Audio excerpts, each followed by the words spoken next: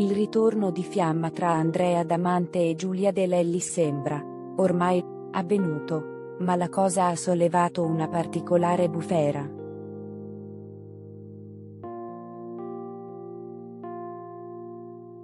Se da un lato ci sono i loro fan che non vedevano l'ora di rivederli nuovamente insieme, dall'altro lato c'è chi ha storto il naso.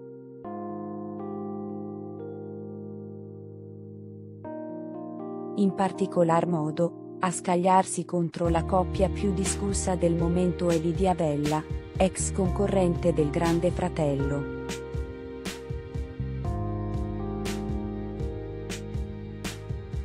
La siciliana, durante un'intervista su Radio Radio, ha accusato i due protagonisti di mandare un messaggio completamente sbagliato.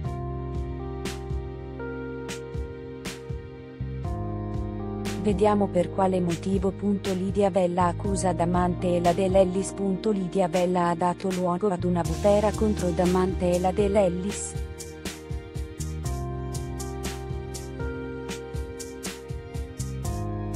L'ex Jeffina ha commentato il presunto ritorno tra i due ed ha detto di essere rimasta alquanto allibita.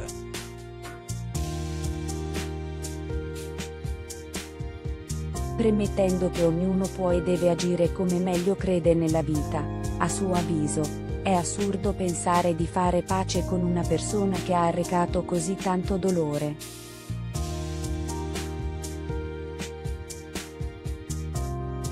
Giulia è stata davvero molto male a causa dei ripetuti tradimenti del suo uomo, sta di fatto che ci ha scritto anche un libro in cui ha minuziosamente spiegato tutta la sua sofferenza.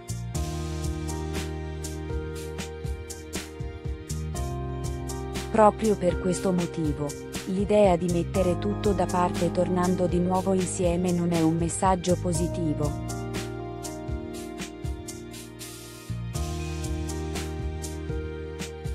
specie perché il profilo dell'influencer è seguito da molte ragazzine. La protagonista dell'intervista, però, non si è soffermata solo su questo, ma ha posto l'accento anche su di un'altra questione.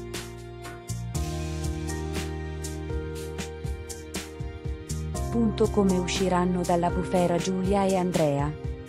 Secondo il suo punto di vista, infatti, i due piccioncini starebbero sfruttando la situazione a loro vantaggio per creare scalpore.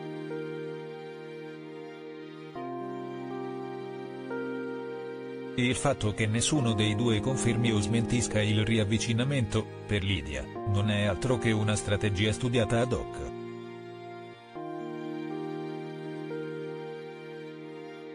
Questo sospetto ha posto Damante e la De Lellis in un bufera mediatica da cui dovranno fare in modo di uscire.